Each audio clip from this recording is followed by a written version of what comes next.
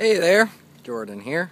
Um, I'm making this video for my brother Jonathan um, because we've recently um, both developed a passion for shooting a slingshot. And so, Jonathan, I just wanted to show you my little um, slingshot trap that I'm making for anybody else who decides that they would like to start getting into slingshot. This is um, a wonderful thing to have um, because you buy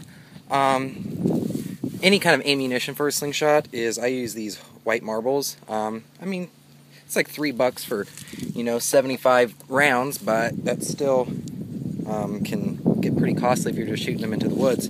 So I made a trap, and this is not fancy by any means, but it works perfectly um, to catch um, my ammunition when I'm practice shooting. So here is what it looks like. And all I did was found this big box in um, my garage, um, and I started with putting two holes in the top and running a piece of cord underneath um, all the way through.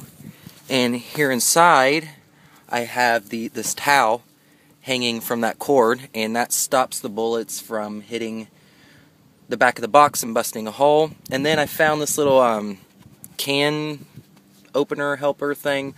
Um, this is from a massage magazine I'm subscribed to. Um, has punched two holes in the top and hung those up with a piece of cord on the top like I did with the towel.